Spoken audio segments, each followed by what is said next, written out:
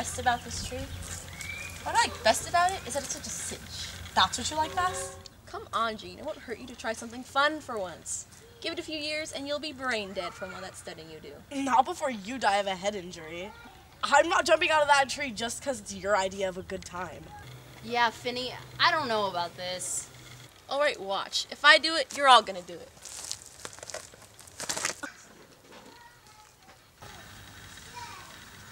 Well, here's my contribution to the war effort. Come on, you're next.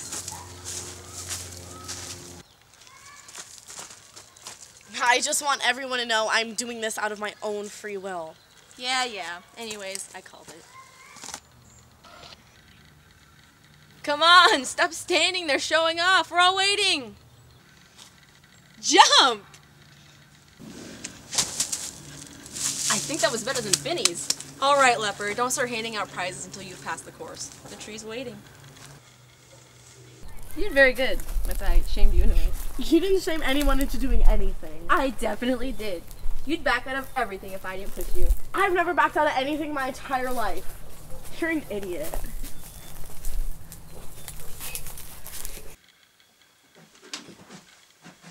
You going to that party at Rob's tonight? No, it's not really my thing.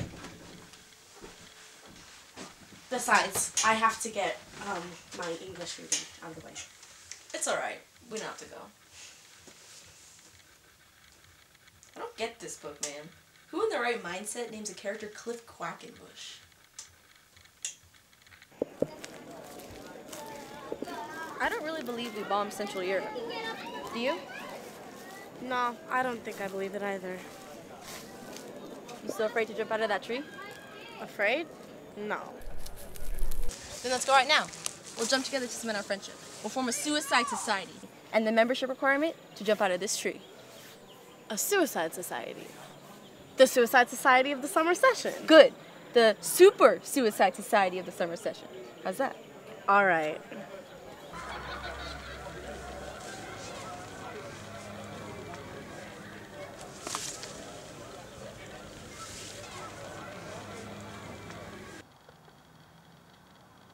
You know I have a trig test tomorrow.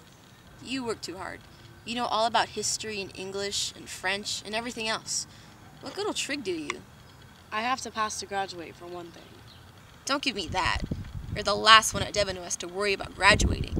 You want to be the head of the class, valedictorian, so you can make a speech on graduation day in Latin or something boring like that. I know you. Don't be stupid. I wouldn't waste my time on anything like that. You never waste your time. That's why I have to do it for you. Someone has to be head of the class. See? I knew that's what you were aiming at.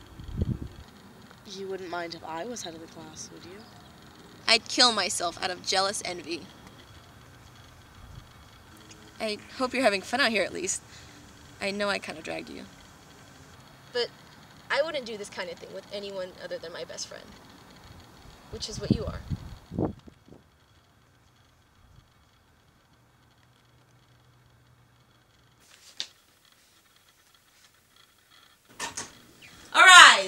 Elwin Leper Lepellier has just announced his intention to make the jump this very night to qualify to face his fears at last. If he jumps out of that tree, I'm Mahatma Gandhi. We gotta be there anyway. Who knows? Maybe he'll actually do it this time. You've got to be kidding me. I'm trying to study. You know, books, work, examinations. Yeah? Of course you don't get it. Fine. We go watch Leper not jump out of the tree, and I ruin my grade. You wanna study? Never mind. Forget it. I know. I joined the club. I'm going. What else can I do? Don't go. Just don't go if it's that big of a deal. It's just a stupid game anyway. What are you talking about? Look, I, I get it. I'm sorry I got worked up. But you really are smart, Gene. Way smarter than me. I'm gonna go watch Leper. You can stay here and study. Wait. Just wait. I'm coming. No, stay. You already said. Just forget about the studying, Finny. Are you sure you've done enough already? Yes.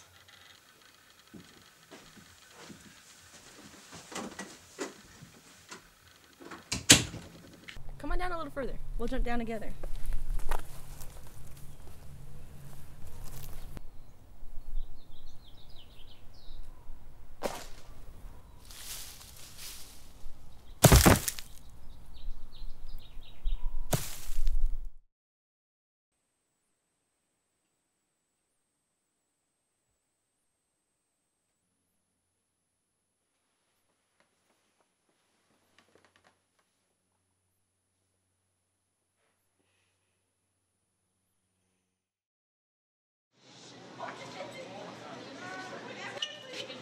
Finny's condition has started to improve. I'm sure he'd appreciate a visit or two, especially after these past few days. They've been really rough on him. You don't think I'll upset him or anything? You? No! I don't want anyone else to bother him, but seeing a good friend should do him some good. I'm sure he's still feeling sick. It was a really messy break. His leg practically shattered. But you know Finny, we'll have him out of it eventually. He'll be walking again. Walking again? Yes, sports are finished for him after an accident like that, of course. Uh, but he can't. He must be able to. His leg's still there. You haven't amputated it, so. Sports are finished.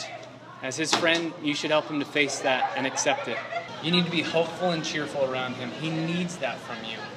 He wanted especially to see you. You were the only person he asked for.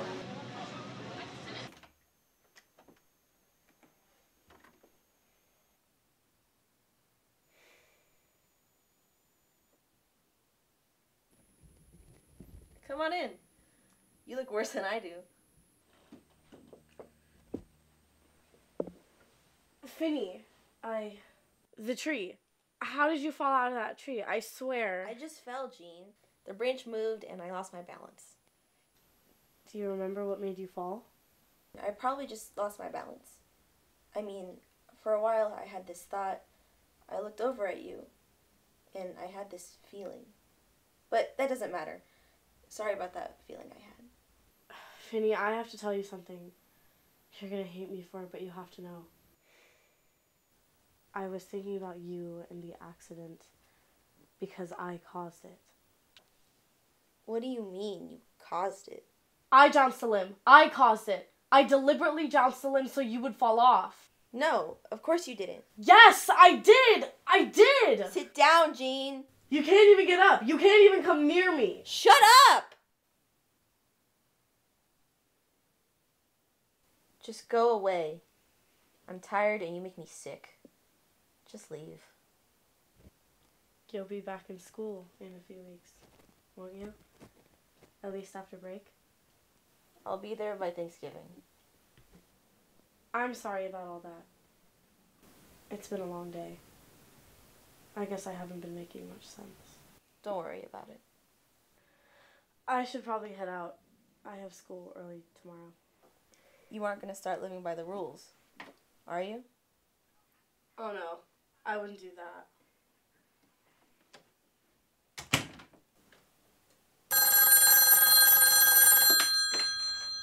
Happy birthday back from break.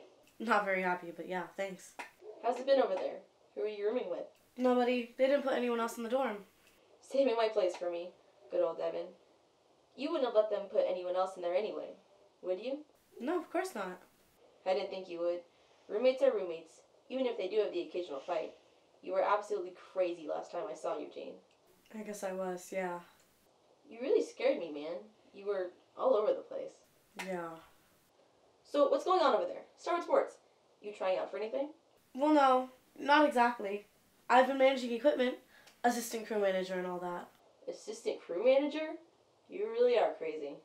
I'm just too busy for sports, Finny. Listen, if I can't play sports, you're gonna play them for me. There's somebody at the door. I gotta go. Oh, alright. Bye then. Bye.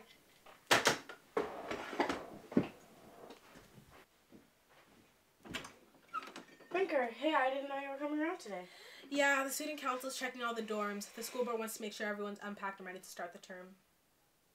Look at you, got the whole place to yourself. What'd you do? Get rid of Finny so you didn't have to share? What? No, of course not. What are you getting so defensive about? It was just a joke, Gene. Calm down. Sure, yeah. Finny's coming back in a few days, right? I've been hearing things. Everyone's got news about him. I've been hearing a lot about you, too. Just drop it and invade someone else's dorm. Fine. See you later, Gene. Right.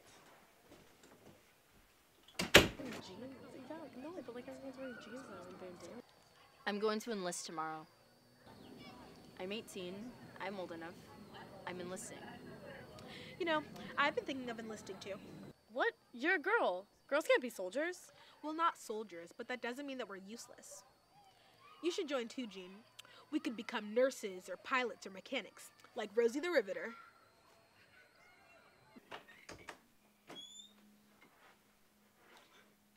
So what did I miss? Same old place, isn't it? Not exactly. So what did you end up trying out for? I didn't try out for anything. You aren't still assistant crew manager, are you? No, I quit that. I just don't think sports are as important with the war on. Don't tell me you bought into all that war stuff. All what war stuff? There isn't any war. You remember the Roaring Twenties, right? When everyone was drunk all the time and people did whatever they wanted? Yeah. Well, all the higher ups didn't like that. All the rich old fat men in their big mansions and fancy cars. So they tried prohibition, but everybody just got drunker. So they arranged the Great Depression, and now this war. And only these rich old fat men know about it? Well, yes. And me. What makes you so special? Why do you get to be in on it while the rest of us stay in the dark? Because I've suffered.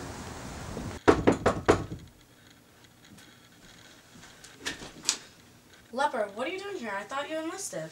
They didn't want me. I got out there, I, I couldn't even make it past training. You know, I spent all this time convincing myself that this was it. That I was finally gonna be somebody. That I was gonna make a difference. It turns out I'm just as useless as everybody thinks I am. Leper, I. Save it, Gene. I know you don't really care. Not about me, not about anyone. I always knew. Since the beginning. I just let you get away with it all. Let you knock Finny out of that tree. You know nothing about that! You don't know a thing, you crazy stupid! I just stood there and let you cripple him for life. Shut up! Just shut up! This has nothing to do with me! You're right, Leper. I don't care what happened to you in the army. I never cared. And I don't care what happens to you now.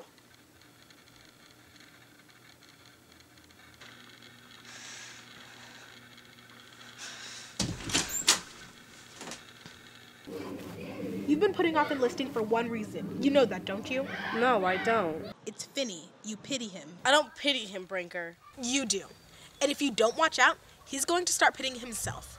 Nobody ever mentions his leg to him except me. How is he going to come to terms with it if we treat him like nothing ever happened? Just keep out of it, Brinker. You were there with him when it happened. Don't forget, you have a personal stake in this too. It wouldn't do you any harm, you know, if everything about Finny's accident was cleared up and forgotten. Brinker sent me to come get you. It's after hours. What does she want? You'll see. Get Finny.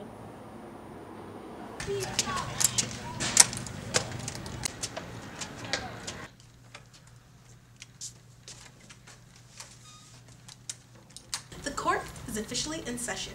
We will start by calling Phineas to the stand. Finny, could you describe the incident, please? As clearly as you remember it, in your own words. In my own words, Yes, we're investigating your accident. Enough of this! I told Brinker this morning that I thought this was the worst. And I said that for Finny's good, and your good too, Gene, we should get this all out into the open. what is there to discuss? I fell out of a tree. Why? Why? Because I took a wrong step. Did you lose your balance? Yes. Finny, have you ever thought that you didn't just fall out of the tree? Someone else was up there with you, correct? No, I don't think so. You were there too, weren't you, Gene? Yes. You were down at the bottom, I thought. Yes. That's where I was. No, I heard Gene was right up there with you. I don't know. I don't remember. Who else was there? I was. Leper, if you could recount the events in detail for us, please. I was standing right there at the trunk of the tree. They were up there, both of them. On the limb? Yes, on the limb. I remember looking up and seeing them there together. Where were they standing exactly? One of them was by the trunk, and the other one was a little further out into the limb. And then what happened?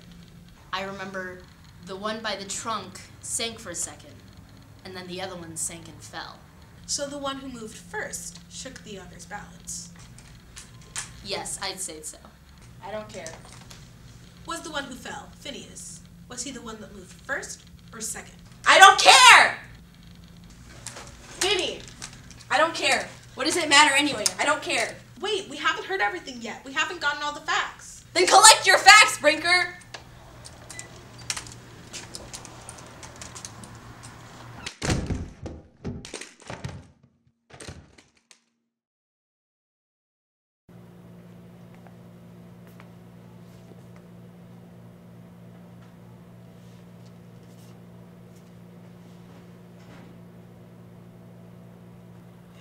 I tried to tell you before. I know. I remember that. Why are you here, Gene?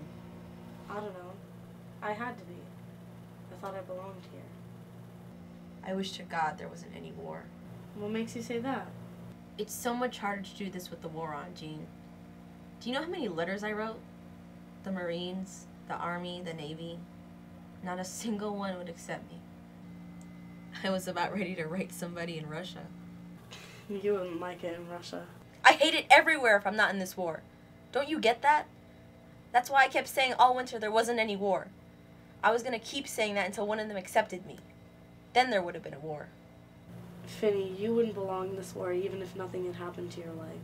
Give it a day and you'd already be trying to make friends with everyone on the opposite side.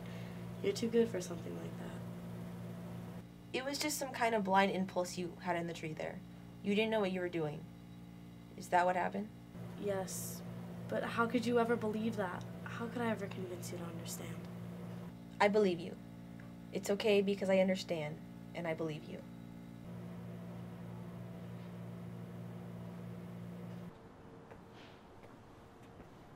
How is he? This is something that your generation is going to see a lot of, and though I regret to have to say this to you, it's something that you must know. Your friend is dead. In the middle of the operation, his heart just stopped. I, I can't explain it.